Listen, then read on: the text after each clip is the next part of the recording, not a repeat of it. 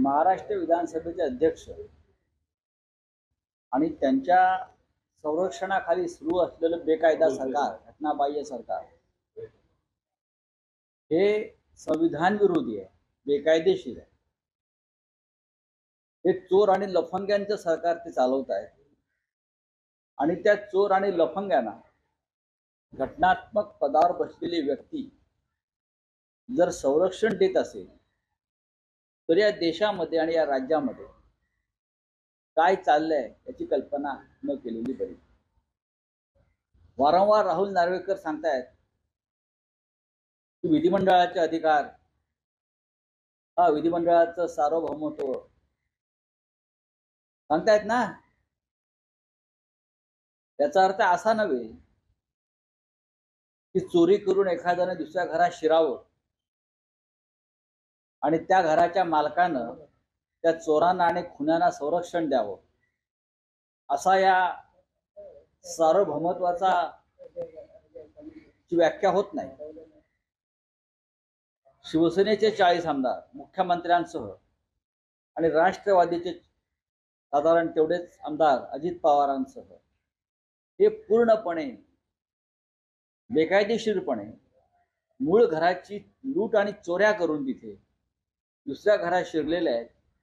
आणि त्या चोरांना त्या दरोडेखोरांना विधानसभेचे अध्यक्ष हा सार्वभौमत्वाच्या नावावर संरक्षण देत असतील. तर मला असं वाटतं राहुल नार्वेकर यांचं नाव विधानसभा अध्यक्ष म्हणून या देशाच्या आणि राज्याच्या काळ्या कुट्ट इतिहासात नोंदलं जाईल. भगतसिंग कोश्यारी नंतर राहुल नार्वेकर.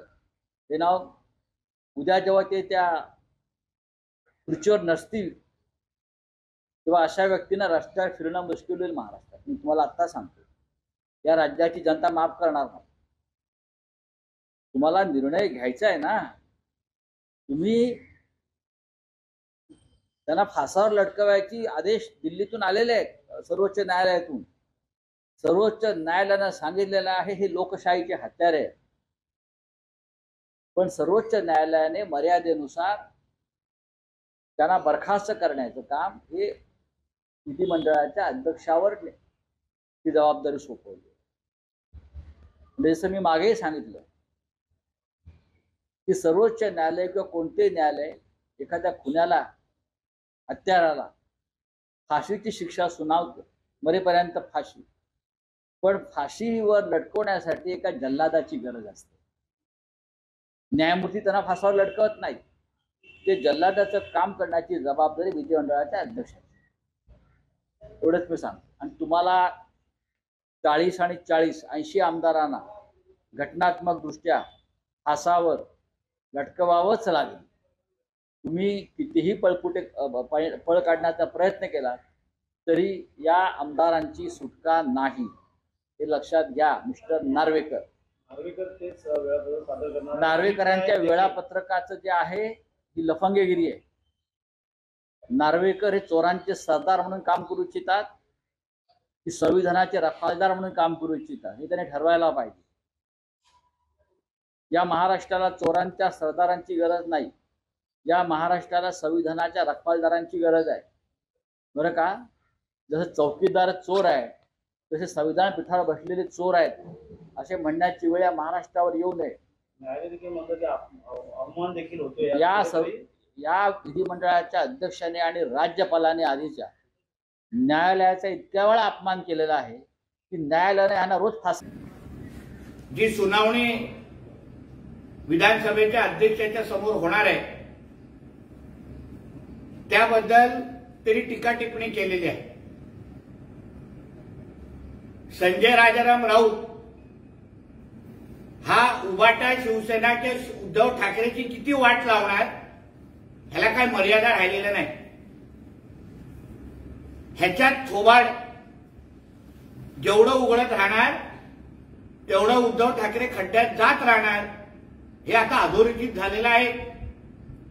कारण का केसरकरजींनी माहिती जी दिली की उद्धव ठाकरेंना मोदीजींना भेट भेट उद्धव ठाकरे मोदीजींना भेटल्यानंतर युतीमध्ये येण्यासाठी परत तयार होते.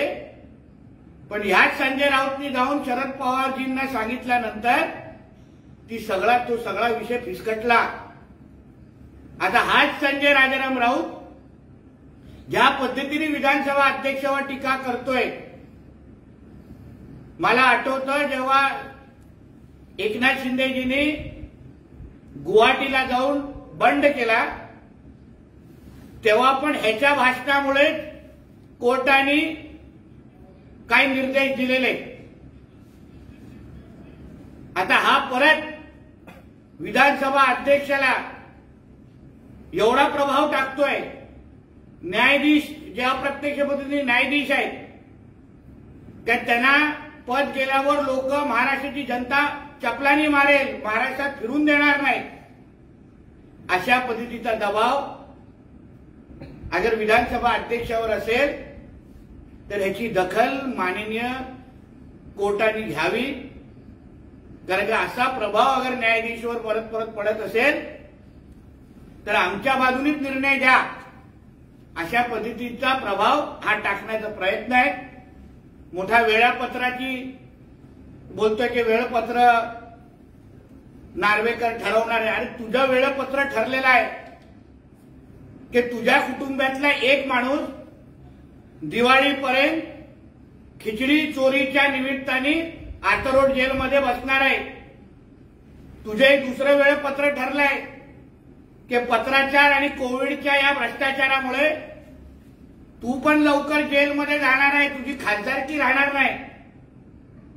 आणि तुझी एवढंच तुला हिंमत असेल तर तू एक काम कर चोवीस तासासाठी तुझं संरक्षण सोड जे तुला महाराष्ट्राच्या सरकारने दिलेलं आहे. ज्या सरकारला तू घटनाबाहेर म्हणतोस चोवीस तासासाठी तुझं संरक्षण सोड मग महाराष्ट्राची जनता सोड. जे जुने शिवसैनिक आहेत जे कडवट शिवसैनिक आहेत ते तुझ्या कपडे काढून नाही तुला महाराष्ट्रामध्ये म्हणजे तुझं ढिंड काढली गाढवावर तर मी माझं नाव बदलून टाकेन. मोठा समाजवादी विचार